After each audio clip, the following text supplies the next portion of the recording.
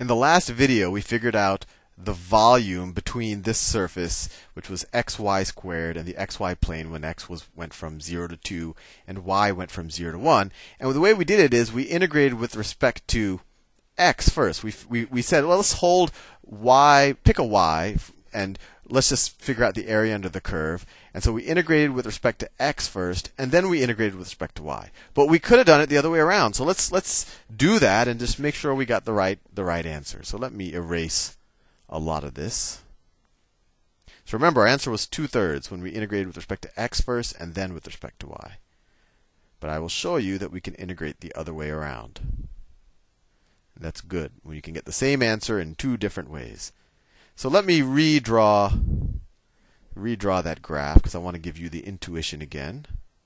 So that's my x-axis, y-axis, z-axis, x, y, z, and let me make, and then this is my xy plane down here Y goes from 0 to 1, x goes from 0 to 2. Right? This you could do this x equals 1, this is x equals 2, this is y equals 1. And then the graph, I will do my best to draw it. Looks something, let me do it in a more in a, get some contrast going here. So the graph looks something like this. Let me see if I can draw it. On this side, it looks something like that. And then it comes down, comes down like that straight. And then the volume we care about is actually this volume underneath the graph. Right, this is the top of the surface on that side. And we care about this volume underneath the surface. And then when we when we draw the bottom of the surface, let me do it in a darker color. Looks something like this. This is the bottom underneath underneath the surface. I could even shade it a little bit just to show you that it's it's like the underneath. It's underneath the surface. Hopefully that's a decent rendering of it. Right, let's look back at what we had before, right? It's like a page that I just flipped up at this point, we care about this volume, kind of the colored area under there. So let's figure out how to do it. Last time we integrated with respect to x first. Let's integrate with respect to y first. So let's hold x constant. So if we hold x constant, what we could do is for a given x, let's pick an x, and let's say what is so if we if we pick a given x, I don't know, let's pick the x uh, I don't know here. Then what we can do if for given x you can view that function of x and y right? If x is a constant let's say if you know if x is 1 then z is just equal to y squared right? And that's easy to figure out the area under as we can see that x isn't a constant, but we can treat it as a constant. So, for example, for any given x, we would have a curve like this. Right? And what we could do is we could try to figure out the area of this curve first. So, how do we do that? Well, we just said we could kind of view this function up here as z is equal to xy squared, because that's exactly what it is. But we're, we're holding x constant, we're treating it like a constant. And to figure out that area, we could take a dy, a change in y, a dy, multiply it by the height, which is xy squared. Right? So we take xy squared, xy squared, multiply it by dy. And if we want this entire area, we integrate it from y is equal to 0 to y is equal to 1. y is equal to 0 from 0 to 1. Fair enough. Now, once we have that area, if we want the volume underneath this entire surface, what we could do is we can multiply this area times dx and get some depth going. Let me pick a nice color. It's green. So let's say our, that's our dx.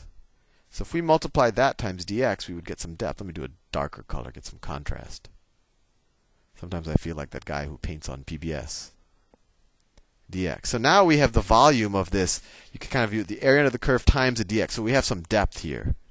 So it's times dx. And if we want to figure out the entire volume under this surface, between the surface and the xy plane, given this constraint to our domain, we just integrate from x is equal to 0 to 2. x is equal to z- from 0 to 2. All right. So once we so let's think about it. This area, this area in green here that we started with, that should be a function of x, right? We held x constant, but, but depending on which x you pick, this area is going to change. Right? So when we evaluate this magenta inner integral with respect to y, we should get a function of x. And then when we evaluate the whole thing, we'll get our volume. So let's do it. So let's evaluate this inner integral. Hold x constant. What's the antiderivative of y squared? It's y to the third over 3. Right? So it's y the third over 3. The x is a constant, right? And we're going to evaluate that at 1 and at 0. And the outer integral is still with respect to x dx. This is equal to, let's see, when you evaluate y is equal to 1, you get 1 to the third, that's 1. So it's x over 3 minus, when y is 0, then that whole thing just becomes 0, right? So this, this this purple expression is just x over 3. x over 3. And then we still have the, the outside integral from 0 to 2 dx.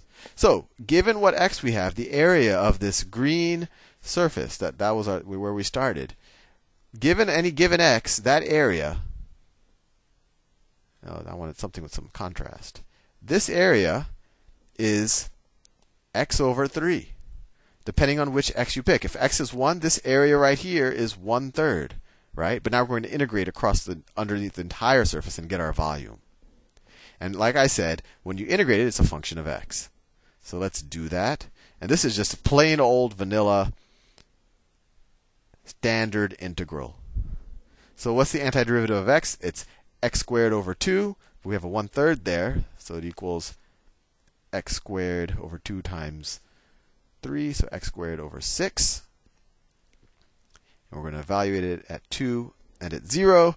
2 squared over 6 is 4 6 minus 0 over 6, which is equal to 0, equals 4 sixths. What is 4 6? Well, that's just the same thing as 2 thirds. So the volume under the surface is 2 thirds. And if you watch the previous video, you will um, appreciate the fact that when we when we changed when we integrated the other way around when we did it with respect to x first and then y we got the exact same answer. So that the universe is in proper working order. And i've surprisingly actually finished this video with extra time. So for fun we can just spin this graph and just appreciate the fact that we have figured out the volume between this surface xy squared and the xy plane. Pretty neat Anyway, I'll see you in the next video.